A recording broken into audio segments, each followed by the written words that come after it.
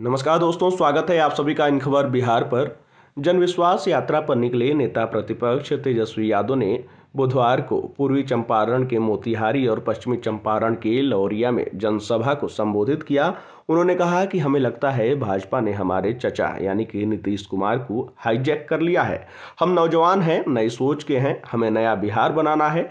उन्होंने कहा कि जदयू राज्य में तीसरे नंबर की पार्टी है। मुख्यमंत्री नीतीश कुमार को तीसरे नंबर पर जाने से दिक्कत हो रही है। इसीलिए विधानसभा भंग करना चाहते हैं और लोकसभा के साथ चुनाव कराना चाहते हैं। मेरी उन्हें चुनौती है कि चुनाव करा लें। विधानसभा में तो वे हारेंगे ही, लोकसभा में भी भाजपा को ले डूबेंगे। मोतिहारी के स्पोर्ट्स क्लब मैदान में जनसभा को संबोधित करते हुए तेजस्वी यादव ने कहा कि सीएम हमारे लिए आदरणीय थे, हैं और रहेंगे। लेकिन अब बुज़ुर्ग हो चुके हैं। उनके पास न कोई विजन है और न ही गठबंधन बदलने का कोई रीजन है। अब उनसे बिहार चलने वाला नहीं है। नए लोगों को मौका मिलना चाहिए। पूर्व उप मुख्यमंत्री ने कहा कि गांधी की कर्म भूमि पर आपके बीच आपकी लड़ाई लड़ने आया हूँ।